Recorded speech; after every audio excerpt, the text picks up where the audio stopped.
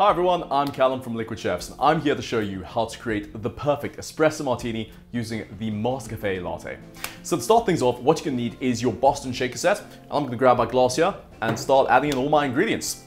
We're gonna start off with our alcohol, and that is our vodka. So we're gonna add in a good balance of 35 mils. We don't wanna add in more than that, because what that will do is it will create a very, very strong drink, and we want to create a well-balanced and well-rounded drink. So we've got add in our vodka. Next step is to add in our liqueur. Now traditionally, espresso martinis use a coffee liqueur. Today I'm going to use a hazelnut liqueur. Now the hazelnut liqueur will enhance the beautiful flavors of nut, which you'll find within the Master Cafe latte. So it's really going to bring those to the forefront, lift that to the surface, and create a really wonderful mouthfeel. So we have our Frangelico in there. Now we're going to top this up and add in a little bit more nut flavor, and that's going to be with our hazelnut syrup instead of a traditional simple syrup. So we're to add this on in. And we're going to throw in 12 and a half mils because, again, we don't want to overly sweeten this drink. Just a nice, good balance overall. Our final step is, of course, going to add in our Master Cafe Latte, that wonderful coffee flavor that we're going to experience in this cocktail. Has a nice balance of milk, give it a shake, activate all the flavors. And we're going to top this on up with 60 mils. So that is a full 50 ml measure and a dash.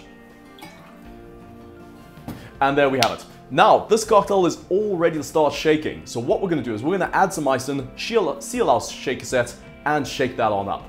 If you don't have a Boston shaker set, not a problem. Protein shakers, Kilner jars, anything at all can work well that you can seal and has a very nice thick glass. So I'm gonna add in some ice.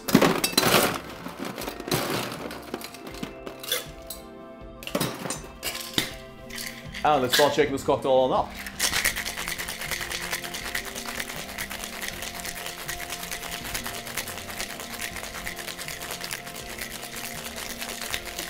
Now this cocktail is all about the hard shake. You want to shake it so you see that beautiful foam going around on the inside of that Boston glass.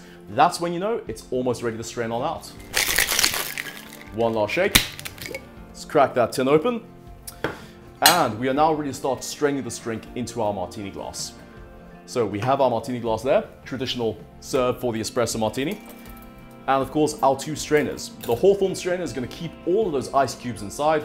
The fine strainer is going to create a nice smooth froth on top. So we're going to pour this on out. Immediately that beautiful creamy texture comes to the forefront. Couple taps there, make sure that's all strained out. And finally, we want to give this a nice traditional garnish. Going to garnish with three espresso beans, beautifully layered in the center. And there we have it, ladies and gentlemen, that is your perfect Master Cafe Latte Espresso Martini.